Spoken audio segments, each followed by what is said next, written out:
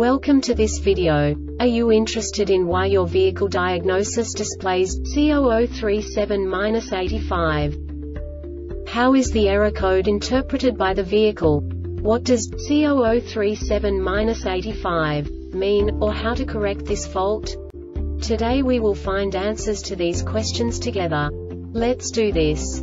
First, let's look at the history of diagnostic fault code composition according to the OBD2 protocol, which is unified for all automakers since 2000. We divide the electric system of automobile into the four basic units. Powertrain, body, chassis, network. This distribution is defined in the first character code.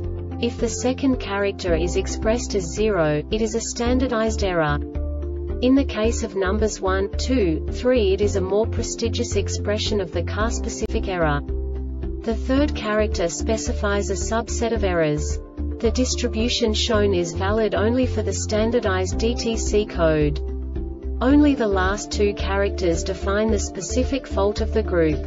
The add-on to the error code serves to specify the status in more detail. For example, a short to the ground. Let's not forget that such a division is valid only if the other character code is expressed by the number 0. Our website airbagreset.sk produces useful videos for you. You do not have to go through the OBD2 protocol anymore to know how to troubleshoot any car breakdown. You will find all the diagnostic codes that can be diagnosed in a Alfa Romeo vehicles. Also many other useful things. The following demonstration will help you look into the world of software for car control units. You unbelievably can move the video a bit further. The error code is split into two bytes consisting of 16 bits. One bit is the basic unit that each computer works with. The bit has two logical states. 0, low level, 1, high level. By combining the first two bits, the basic character of the error code is expressed. The next two bits again determine the second character. The last beat styles of the first byte define the third character of the code.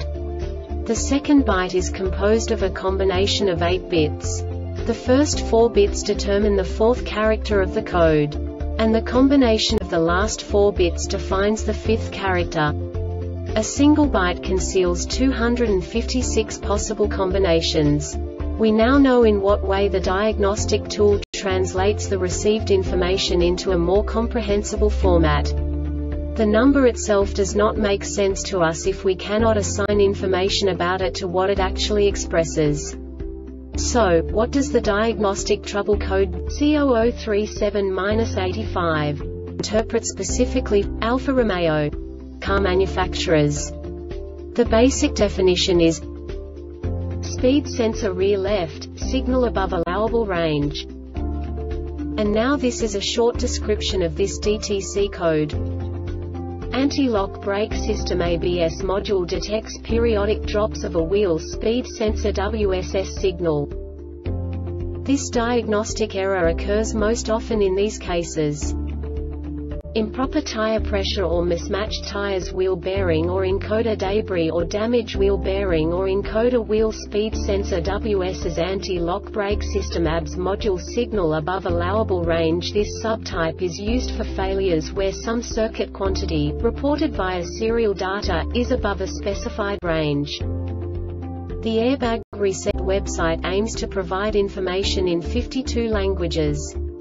Thank you for your attention and stay tuned for the next video.